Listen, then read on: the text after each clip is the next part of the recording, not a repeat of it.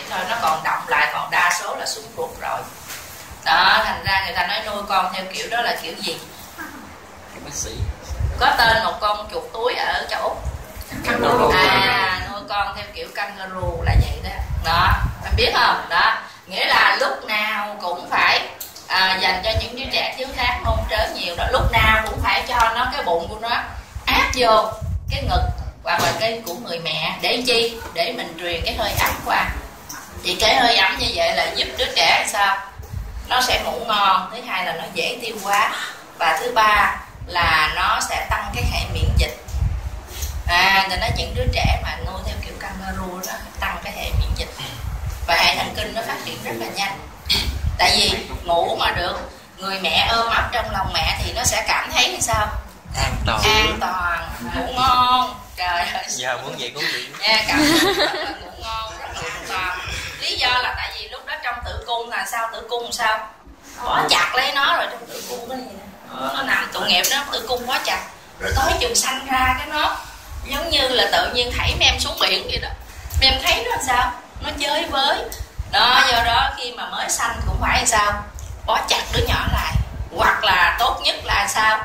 Ôm nó vô lòng ngủ cho chắc hạn à, vậy đó không đó thì nó sẽ ngủ rất là ngon và nó không giật mình. Em thấy trẻ con đưa ngủ nó giật mình, nó chơi với chơi với em thấy không? Đó thì ông bà xưa không biết thì nói là mụ bà giỡn. Giỡn với nó, chứ thật sự không phải mà nó đang trong tử cung, nó ở cái trạng thái là an toàn, bó chặt lại. Mà giờ tự nhiên ra đời cái nó nó bị thảy ra một cái môi trường quá rộng lớn với nó. Thành ra nó chơi với nó thành ra nuôi con mà theo kiểu kangaroo là tốt nhất. À, còn tay á thì nó không nuôi vậy nó nói nuôi vậy đập cho đứa bé nó nhõng nhẽo nó quen hơi. Nhõng nhẽo không phải gì đâu. Chính vì tay á nó cho con ngủ bằng phòng riêng. Hai vợ chồng ngủ phòng riêng nó để cái máy thu âm á. Đặng nhỏ khóc nó nghe nhưng mà nhiều khi nhỏ chết luôn nhỏ chưa kịp khóc. Tại sao? Nó ọc sữa ra rồi sữa đầy trong phổi. Rồi nó ngưng thở luôn rồi sao mà khóc? Hoặc là cái cái nệm rất là dày. Cái tấm đậy nó lại rồi nó chòi chòi nó thụt thụt thụt xuống sao mà đậy cái mặt cái lỗ mũi nó rồi nó ngọ ngoạn hồi nó ngợp lên chết ngặt đó thành ra ở nước ngoài có những trường hợp trẻ mà đột tử nghĩa là chết đột ngột trong đêm cao hơn Việt Nam. Còn Việt Nam mình nuôi con theo kiểu kangaroo là nhiều em thấy không? Thì ẩm bồng ôm ấp đó. Thành ra cái tỷ lệ trẻ sơ sinh ở Việt Nam là sẽ thấp hơn chết đột tử. Lần này Việt Nam mình rồi bây giờ tim thì à, chúng ta đây Đó, ờ, chúng ta mở tim ra. Đây rồi đây đây đây rồi chúng ta thấy. Đây à, ờ, tim. Nha thì nó có hai cái à, phần. Ngang tim ra là hai. Nửa tim phải và nửa tim trái thì ở phía trước á à, nửa tim phải được ngăn bởi rãnh giang thất trước. Ở phía sau cũng ngăn cách giữa thất trái và thất phải là rãnh giang thất sau. Đó. Thì ở đáy tim. Một cái tĩnh mạch. Người ta đưa vô cái tĩnh mạch trụ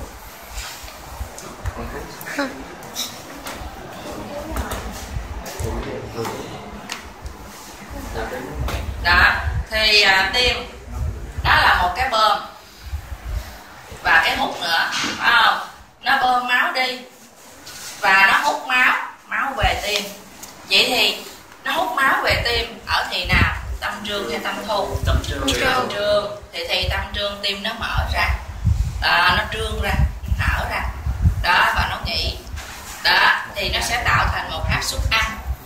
Thì nó rút máu ở trên tim theo cái tĩnh mạch chủ chủ trên đổ về máu đen đó đổ về tâm nhĩ phải và rút máu ở dưới tim.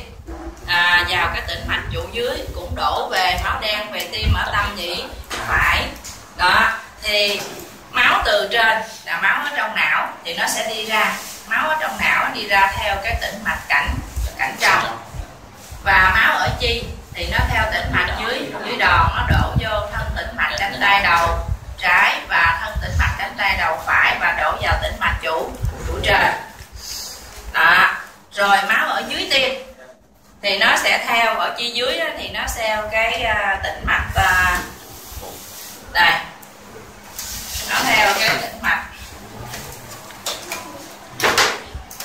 Đây. Máu ở dưới chi dưới thì nó sẽ theo cái tĩnh mạch hiện lớn và tĩnh mạch hiện bé. Nó đổ vào tĩnh mạch đùi tĩnh mạch đùi qua khỏi dây chằng bẹn đây là dây chằng bẹn nó đổi tên là tĩnh mạch chậu chậu ngoài. Khi đến đường cung thì tĩnh mạch chậu ngoài hợp với tĩnh mạch chậu trong tạo thành tĩnh mạch chậu chậu chung. Hai tĩnh mạch chậu chung phải và trái mới thành tĩnh mạch chủ chủ bụng và xuyên qua cơ hoành. Đây đó à xin lỗi không chủ bụng chủ bụng xuyên qua cơ hoành mới đổi tên là tĩnh mạch chủ chủ dưới à còn có người kêu tĩnh mạch chủ dưới luôn nữa hả? À thì coi chừng á thì động mạch chủ bụng tĩnh mạch chủ bụng. Thì xuyên qua cơ hoành động mạch chủ bụng mới đổi tên là động mạch chủ chủ ngực. Và tĩnh mạch chủ bụng mới đổi tên là tĩnh mạch chủ chủ dưới.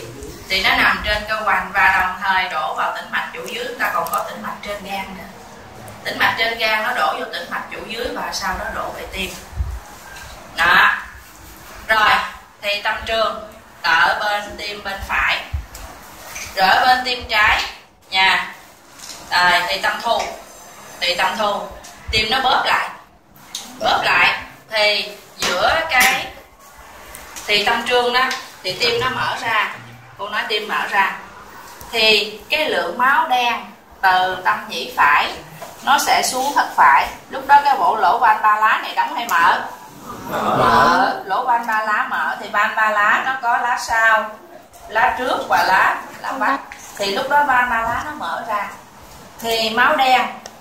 Thì cô nói thì tâm trương nha máu đen từ nhĩ phải qua lỗ van ba lá xuống thất phải. Đồng thời máu đen lúc đó nó xuống bao nhiêu thì trên này nó sẽ đổ vô bao nhiêu. Thì máu đen từ tĩnh mạch chủ trên tĩnh mạch chủ dưới và son tĩnh mạch vành nó sẽ đổ về đầy ở tâm phải xong thì tâm thu tim bóp lại. Thì lỗ van ba lá này sao? Đóng lại nó đóng do đó máu đen từ thất phải nó có trào lên nhĩ phải được không? Không. không. Mà van động mạch phổi này sao? Mở. mở ra do đó nó sẽ dồn cái lượng máu đen từ thất phải đi theo động mạch phổi để đi nuôi để đi lên phổi. Rồi bây giờ à, giữa cái cung động mạch chủ và thân động mạch phổi nó có một cái ống lúc phôi thai. Ống này gọi là ống động mạch. Tại vì lúc phôi thai thì máu đỏ từ bánh nhau của mẹ qua cái dây rốn qua dây rốn rồi vào cái vào gan. À, theo cái à, cái à, tĩnh mạch à, gan đó rồi từ gan nó theo cái tĩnh mạch trên gan. Đổ vào tĩnh mạch chủ dưới. Và máu đỏ ở thai nhi lúc đó nằm ở đâu? Ở tâm nhĩ phải. Tâm nhĩ phải. Và nó qua lỗ bầu dục để máu đỏ. Qua tâm nhĩ. trái. Xuống tâm trái và do đó máu đỏ từ nhĩ trái xuống. À tà xuống thất phải từ nhĩ phải xuống thất phải có không có không không tại sao? Lúc đó phổi có làm việc chưa? Chưa. chưa do đó thất phải có bơm máu. Lên thân động mạch phổi lên hai phổi không? Không do đó cái lượng máu đỏ từ bánh nhau ngày mẹ theo hai tĩnh mạch rốn tĩnh mạch rốn máu đỏ nha đến gan đổ vào cái tĩnh mạch trên gan và đổ thẳng vô tâm nhĩ phải là máu đỏ máu đỏ từ nhĩ phải qua nhĩ trái luôn qua lỗ bầu dục và máu đỏ từ nhĩ trái, nó sẽ qua qua cái lỗ van hai lá để xuống thất trái. Và khi tim nó bóp lại, thì chỉ có máu từ thất trái theo cung động mạch chủ đi nuôi cơ thể đứa bé thôi. Hiểu không? Do đó lúc đó ở thất phải có máu đen không? Không. Do đó máu đen có bơm từ thất phải theo thân động mạch phổi lên hai phổi đứa bé không? Không luôn. Vì hai phổi chưa làm việc đó do đó cái ống này nè. Đó khi động mạch khi máu đi vào cung động mạch chủ nó sẽ xuống phổi. Lúc đó máu ở động mạch phổi không có nha. Đó do đó nhưng mà khi đứa bé ra đời cắt ruột phải không? Là đứa bé không có nhận cái nguồn máu tiếp tế từ mẹ nữa mà cái phổi nó khóc lớn lên. Cái phổi nở ra. Cái van bầu dùng sao? Đóng lại đóng lại. À, do đó máu tĩnh mạch. À nó sẽ đổ về tĩnh mạch chủ trên tĩnh mạch chủ dưới xong tĩnh mạch vành máu đen đổ vô nhĩ phải. Không và tâm trương mà và máu đen từ nhĩ phải qua lỗ van ba lá xuống thận phải. Rồi thế thì tâm thu giống như người lớn thì nó phổi nở ra rồi làm việc rồi thì tim bóp lại.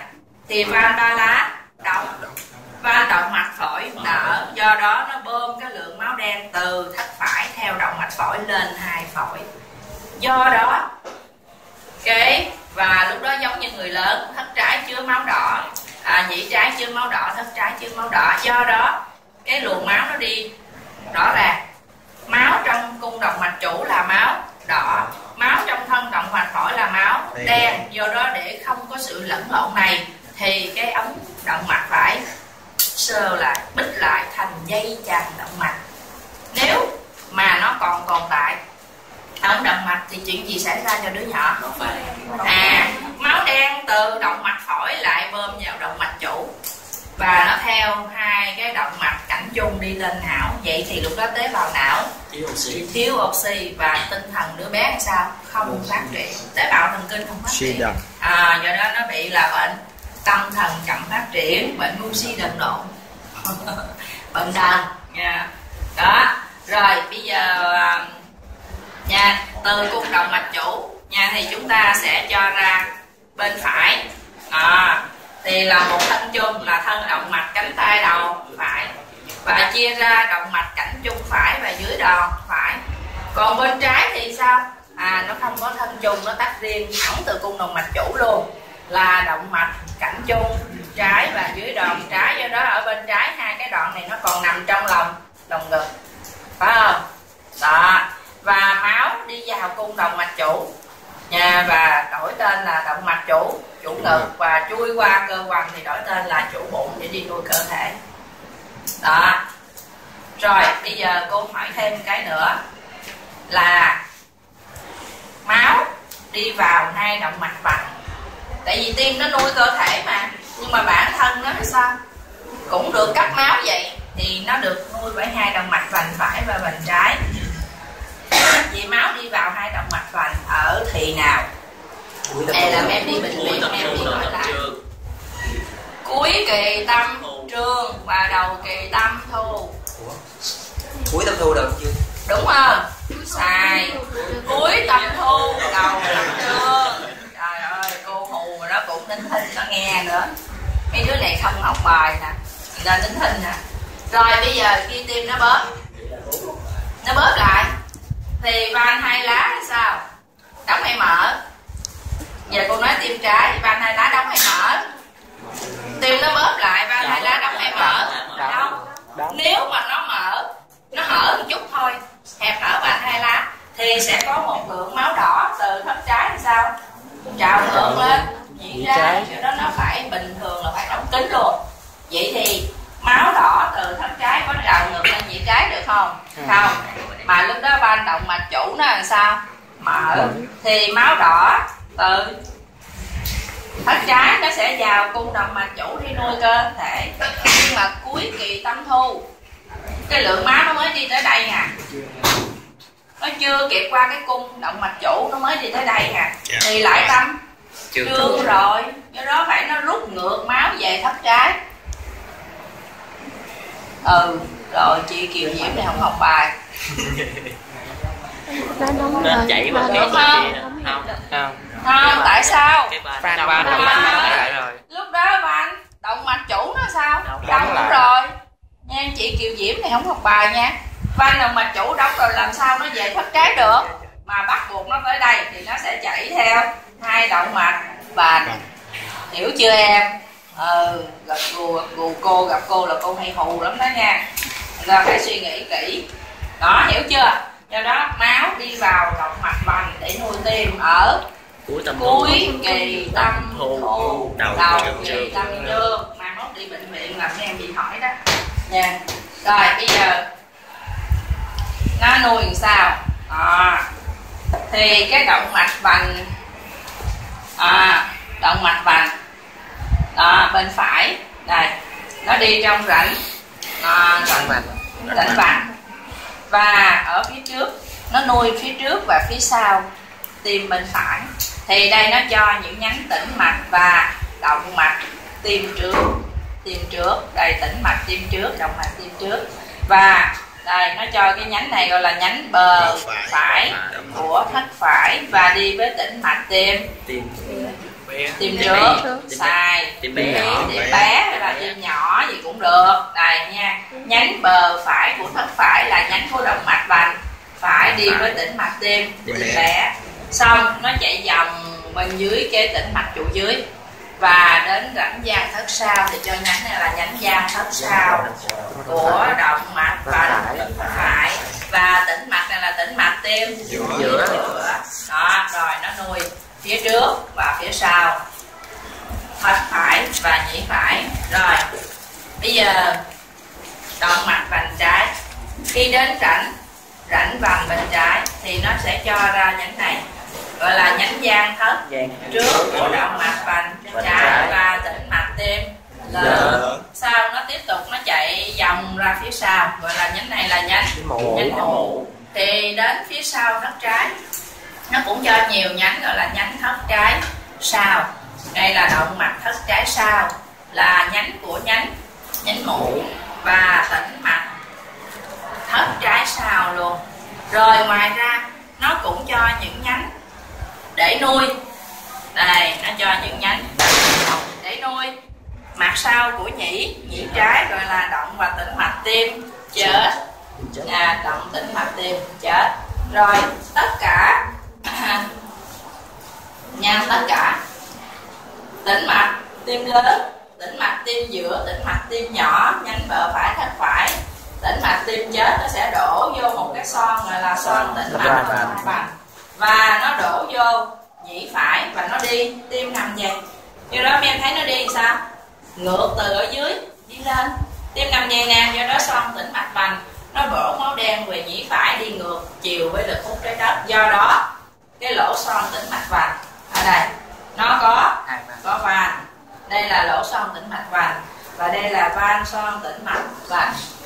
Đây lỗ son tĩnh mạch vành van son tĩnh mạch vành và đây là lỗ tĩnh mạch chủ. Dưới đây là van tĩnh mạch chủ. Dưới. Nhìn vô giữa nhĩ phải và nhĩ trái mình thấy đây là hố bầu dục. Rồi bây giờ cái này quan trọng. Nguyên cái này là cái vách ngăn giữa thất phải và thất trái thì gọi là vách gian thất. Có hai phần. Phần dày là gọi là vách gian thất cơ. Và cái phần mỏng này nè.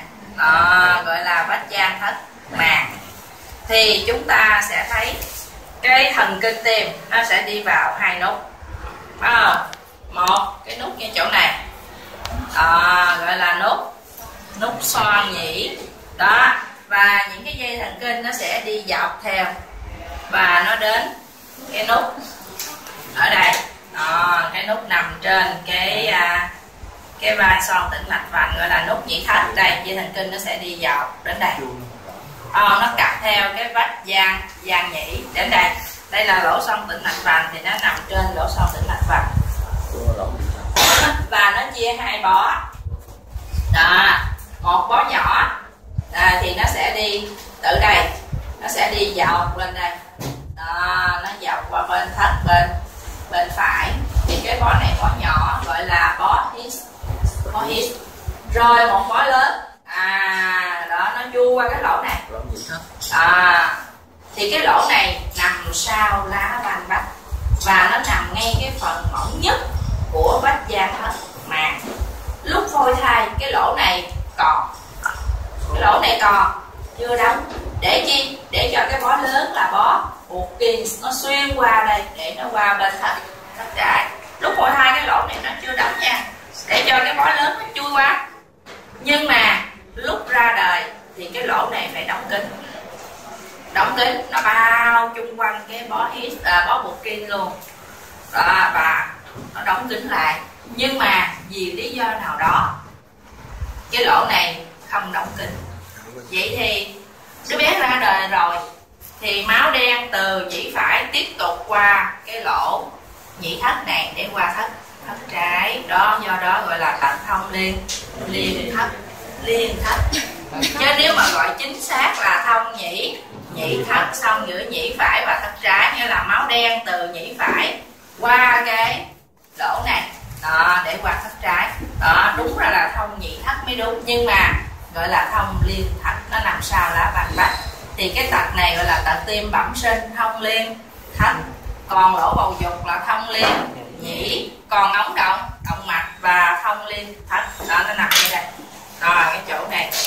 Đó. lý do là cái lỗ đó phôi thai. Nó nó mở ra. Để cho cái bó lớn là bó gì? Bó bụng kim. Nó xuyên qua cái lỗ này nằm sao lá vành bách để nó qua bên hết thất trái. Đó, ra đời nó phải đóng kín. Nhưng mà lý do nào đó nó không đóng kín. Do đó máu đen từ nhĩ phải tiếp tục qua cái lỗ này gọi là lỗ nhĩ thất để qua bên thất trái gọi là tật thông liên thất rồi, bây giờ em em qua bển, em suy nghĩ một lát nữa trả lời cho cô. Tại sao hẹp hở van hai lá? Ở đây mình hay bị lắm. Này, xảy ra ở những người, ở những cái xứ mà ẩm thấp như chúng ta vậy nè. Mưa nhiều, ẩm độ cao hay bị không thấp đó. Thì tại sao? Thì nó dẫn đến hẹp hở van hai lá. Dẫn đến suy tim trái. Suy tim trái dẫn đến ứ máu trên phổi dẫn đến suy tim phải dẫn đến gan to. À, cái câu này sau này đi bệnh viện là mấy em sẽ bị hỏi đó là hẹp hở van hai lá lúc đầu là suy tim trái trước sau dẫn đến phù phổi cấp nghĩa là ứ máu trên phổi dẫn đến suy tim phải dẫn đến gan to. Rồi về bên kia suy nghĩ đi. Có hỏi gì nữa không? Nó xuyên qua rồi em. Nó xuyên trong lúc phôi thai là 3 tháng đầu phôi thai là nó đã xuyên qua rồi. Nhưng mà cái lỗ này chưa đóng. Chưa đóng. và máu tại vì máu đỏ mà. Máu đỏ lúc đó phôi thai thành ra máu đỏ từ nhĩ phải. Qua cái lỗ này để qua thất trái. Đó là chuyện gì? Bình thường. Không sao hết. Tại vì lúc phôi thai thì máu trong nhĩ phải là máu đen hay máu đỏ? Máu đỏ. máu đỏ đó, thì một phần nó sẽ qua cái là lỗ bầu dục để qua nhĩ trái luôn. Một phần thì nó qua cái lỗ này để qua cánh trái luôn, không sao hết. Nhưng mà ra đời rồi. À thì cái lỗ này chung quanh cái màng này nè, nó sẽ bò lại. Nó bò lại. Giống như chúng ta lấy cái hồn chúng ta chét bít miệng cống là vậy đó. Phải không? Nó bò lại mà nó bao kính luôn nó bao chung quanh nó dính với cái cái cái cái bó luôn. Nghĩa là nó bao chung quanh mà nó dính với bó luôn không còn cái lỗ nào hết. Em hiểu không? Giống như chúng ta cái miệng cắm nó lên chúng ta lấy hồ chúng ta chét bít lại hết. Đó. nhưng mà vì lý do nào đó đứa bé bị suy dưỡng bào thai gì đấy nó bao không kín chút xíu nữa hết nó bao không kín vậy thì khi đứa bé ra đời thì máu đen lúc này là máu bên nhĩ phải là máu đứa bé ra đời rồi thì máu bên nhĩ phải là máu đen hay máu đỏ. Máu đen. Nó tiếp tục nó qua cái lỗ này để qua thất trại hòa với cái lượng máu đỏ bên thất trại. Hiểu chưa? Đó, do đó cái lượng máu đỏ bơm lên cái động mạch cảnh chung. Nhiều hay ít? Nhiều oxy ít oxy. Ít oxy. ít oxy. Tại vì nó lẫn máu đen lẫn CO2 do đó tế bào thần kinh không đủ oxy để phát triển. Rồi đứa bé nó bị tâm thần chậm phát triển nó bị đần rồi cô nói thêm cái động mạch cảnh chung này là nó bao quanh cái tuyến giáp. Do đó những người phì đại tuyến giáp cái tuyến giáp nó to lên và nó bao bít luôn cái động mạch cảnh chung và tĩnh mạch cảnh trong.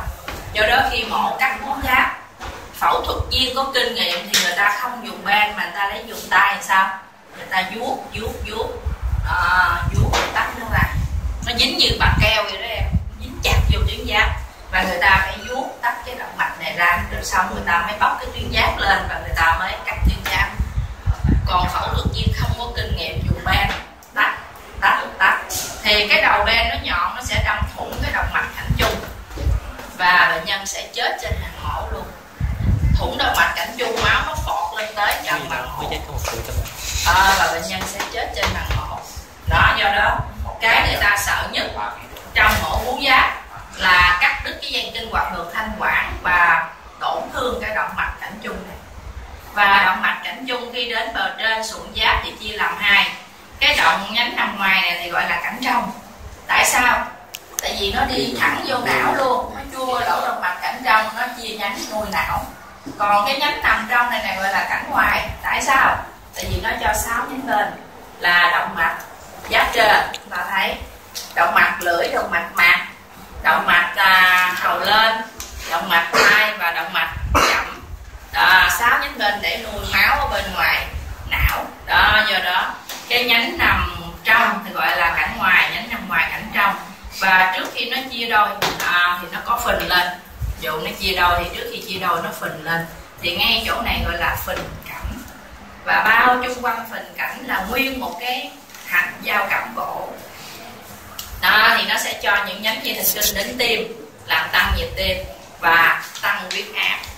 Do đó những người mà bị cao huyết áp sau khi họ bị stress hoặc là họ không ngủ được lo lắng thì sáng bữa sau huyết áp tăng giọt lên và họ bị đột quỵ.